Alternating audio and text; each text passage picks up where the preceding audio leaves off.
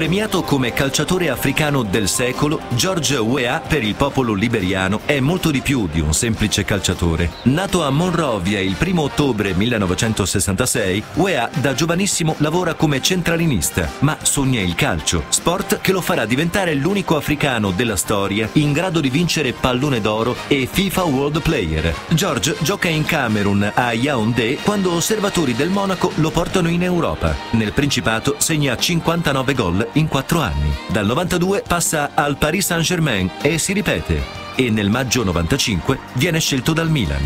A dicembre si aggiudica il pallone d'oro e a fine stagione vince lo scudetto segnando 11 gol. Nelle due stagioni successive segna 23 reti. Dopo 4 anni e mezzo, 58 reti e 2 scudetti, UEA nel gennaio 2000 lascia il Milan. Chiuderà la carriera tra Chelsea, City e Marsiglia per poi riaprirne un'altra in politica.